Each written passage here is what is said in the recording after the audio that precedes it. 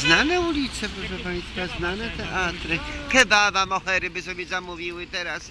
I bardzo ktoś taki chciał z nich pieniądze wyciągnąć. I tam mówi, a to frajer, a to frajerka. No bo wiecie Państwo, zarobić pieniądze i wszystkie wydać na kebaba, a w domu kuchnia goła, no to szatan diabeł w konia ich zrobił wszystkich. I się śmieje, i się cieszy. To właśnie jest to takie hipochondryczne, rozpasane rechodówstwo polskie, a bardzo chcieliby oczywiście tę Amerykę tutaj udać, podrobić, no ale to jest działalność oszustystycznych par tutaj mazowieckich. Na ten temat będziemy więcej mówili. W naszym radiu to Cafe Concita, Barbie, Baby, Langstrom, Extra, Groby Powilane, Faryzeusze, no i temat Baba Dziad na gwiazdkę.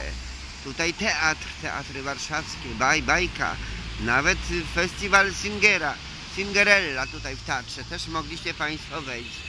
Nikt nie zatrzymywał, zapraszamy.